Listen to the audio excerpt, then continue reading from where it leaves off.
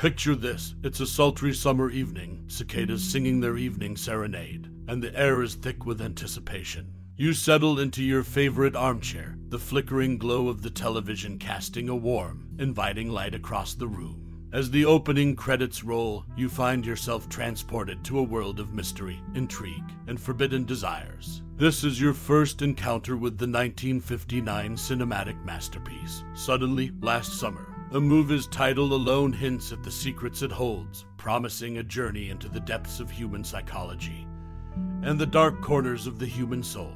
And as the plot unfolds, you can't help but be drawn into the web of suspense, passion, and scandal that engulfs the characters. Perhaps it's the unforgettable performances of Hollywood legends like Elizabeth Taylor and Katharine Hepburn that etched this movie into your memory. Or maybe it's the haunting imagery of a lush, overgrown garden where secrets are buried as deep as the vines that twist and coil around the ancient stone statues. But beyond the mesmerizing narrative and stellar cast, suddenly, Last Summer is also a treasure trove of fascinating facts and trivia. From the challenges faced during its production to the enduring impact it had on cinema, there's a whole world of intriguing details waiting to be uncovered. So, whether you're revisiting this classic film or experiencing it for the first time, get ready to dive into the enigmatic world of Suddenly, Last Summer, and let it captivate your imagination once again. And who knows, you might just discover something new that adds another layer to your appreciation of this cinematic gem. It's time to peel back the layers and explore the hidden depths of a movie that has stood the test of time. Suddenly, last summer, a 1959 film adaptation of Tennessee Williams' one act play is a gripping and controversial drama directed by Joseph L. Mankiewicz. The story revolves around the mysterious death of wealthy Sebastian Venable in a foreign country, and the ensuing efforts to silence his traumatized cousin Catherine Holly, played brilliantly by Elizabeth Taylor. The film is notable for its intense themes of sexuality, mental illness, and societal hypocrisy, all explored through Williams' signature Southern Gothic style. The characters in Suddenly Last Summer are both iconic and deeply flawed. Taylor's portrayal of Catherine is haunting, capturing the anguish of a woman who witnessed a traumatic event and is being institutionalized to keep her quiet. Katharine Hepburn, as Sebastian's domineering mother, delivers a powerhouse performance, embodying the elitist, manipulative matriarch Violet Venable.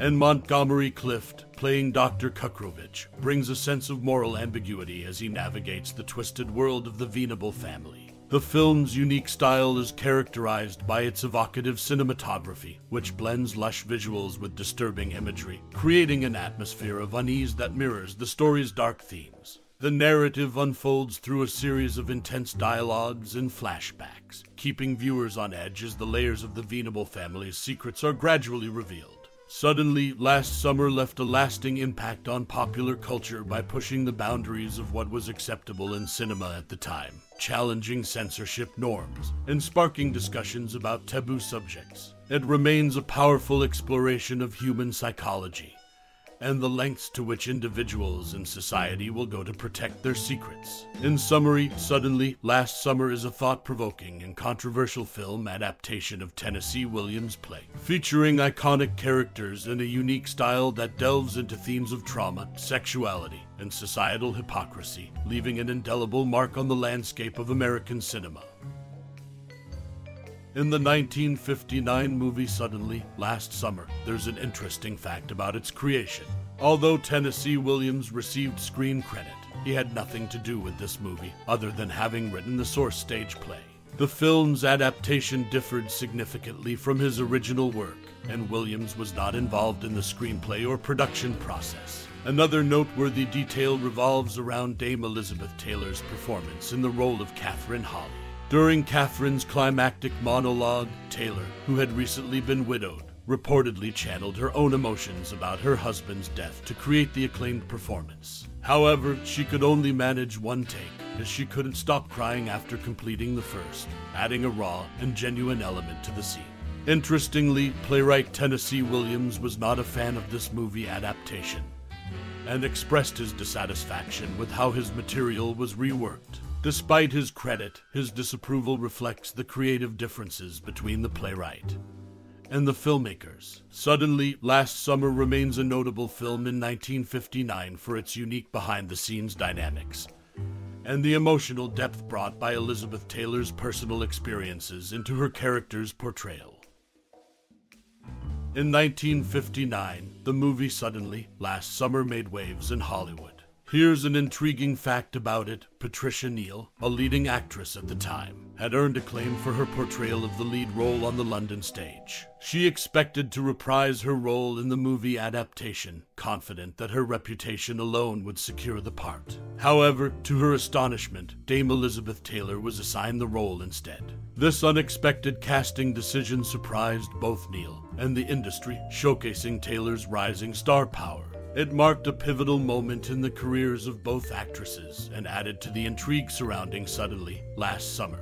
In the 1959 movie Suddenly last summer, two remarkable actresses, Dame Elizabeth Taylor and Katharine Hepburn, found themselves competing for the same Best Actress Academy Award. This unique situation set the film apart in Oscar history, as it's one of the rare instances where two leading ladies vied for the coveted accolade. However, when the envelopes were opened, it was Simone Signoret who took home the prize, leaving Taylor and Hepburn empty handed. Moreover, suddenly, last summer holds a distinct place in Oscar history as one of only five movies to receive two Academy Award nominations for Best Actress. In this case, Katharine Hepburn and Dame Elizabeth Taylor received these nominations. The other four films sharing this distinction include All About Eve, with Anne Baxter and Bette Davis nominated. The Turning Point, featuring Anne Bancroft and Shirley MacLaine. Terms of Endearment, where Shirley MacLaine and Deborah Winger received nominations, and Thelma and Louise, which saw Geena Davis and Susan Sarandon as nominees.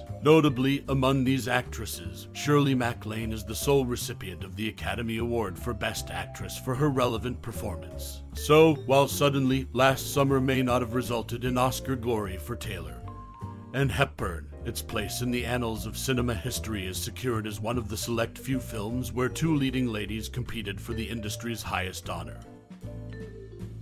In 1959, the movie suddenly, last summer, brought some interesting behind the scenes stories to light. One notable fact is that Malcolm Arnold was initially hired to compose the film's score. However, he found the material so disturbing that he withdrew from the project. This speaks to the unsettling nature of the movie's storyline.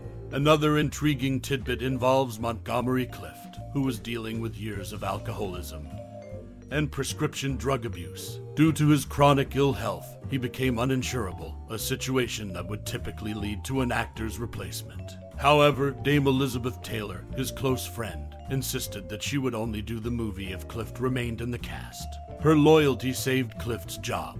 Additionally, Eddie Fisher, who was married to Elizabeth Taylor at the time of the movie's release, made an uncredited appearance as one of the street urchins who begged Taylor's character for food.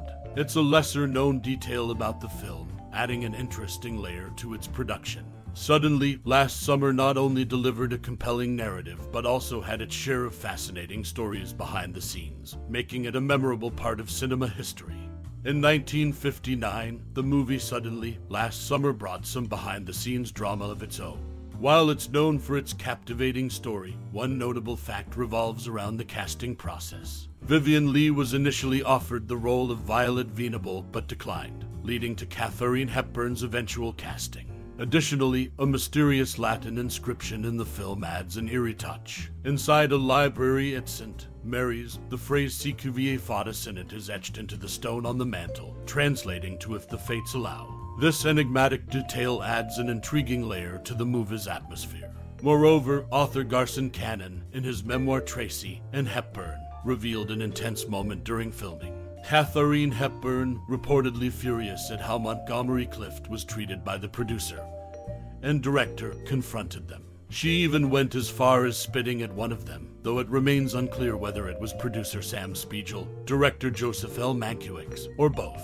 These lesser known facts shed light on the dynamics surrounding the making of Suddenly, last summer, offering a glimpse into the challenges and tensions faced during its production.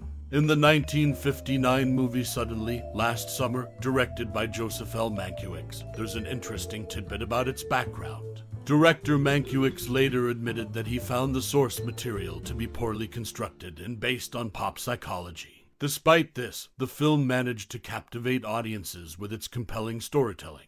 Dame Elizabeth Taylor, a top box office draw at the time, chose Suddenly last summer as her first project after her contract with MGM ended. What's noteworthy is that she used her influence to insist on casting Montgomery Clift in a key role. This decision proved pivotal for the film, as Clift's performance added depth to the story. While not directly related to the movie's plot, these behind the scenes facts shed light on the dynamics that shaped Suddenly last summer. It's a reminder that even when creators have reservations, the final product can still leave a lasting impact. As we draw the curtains on this cinematic journey, I invite you to reflect upon the haunting allure of the 1959 film, Suddenly Last Summer. Like the tendrils of ivy weaving their way up an ancient wall, this film creeps into the deepest recesses of your mind, leaving an indelible mark. With its enigmatic plot, masterful direction, and stellar cast, suddenly, last summer immerses us in a world where secrets unravel like a tightly wound spool of thread. Elizabeth Taylor's captivating performance as Catherine, her vulnerability juxtaposed with her fierce determination, lingers in our thoughts. Montgomery Clift's portrayal of the compassionate Dr. Cukrowicz adds a layer of complexity to the narrative, making us question the fine line between sanity and madness. But beyond the performances and the plot twists lies the film's timeless exploration of human nature, desire, and the lengths one will go to protect their truth. It beckons us to ponder the depths of our own desires, the secrets we harbor, and the consequences of keeping them locked away. Now, I turn the spotlight to you, dear reader, viewer. What memories or thoughts has suddenly, last summer, stirred within you? Have you been entranced by its cinematic spell, or perhaps it ignited a dialogue within you about the hidden facets of human psychology? Share your reflections, for in the exchange of thoughts and ideas, we unveil new layers of understanding. Thank you for joining me on this journey through the enigmatic world of Suddenly last summer. Your time and interest are greatly appreciated. Until our next cinematic rendezvous, keep exploring the depths of storytelling and the human psyche. Warmly,